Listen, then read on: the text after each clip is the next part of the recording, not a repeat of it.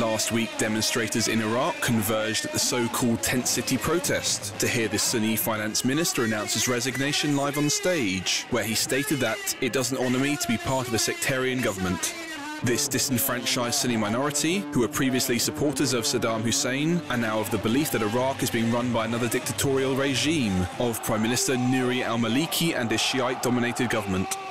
Maliki's government is suspected of being too close to the Shiite autocracy in neighbouring Iran and is criticised for utilising anti-terrorism laws to detain and jail innocent Sunnis, while Sunni politicians allege that the Prime Minister's allies are using intimidation tactics, such as parking tanks outside their homes, to maintain their stronghold on power.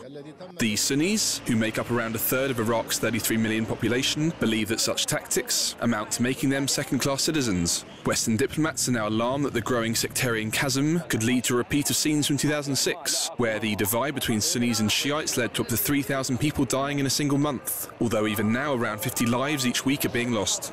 Reports in the last week suggest that Shiite militants are planning a fresh campaign of targeted assassinations and intimidation of Sunnis to prevent them joining in the street protests. With the Sunnis focused on obtaining greater power and the Shiites on maintaining their hold on it, civil war remains a real possibility.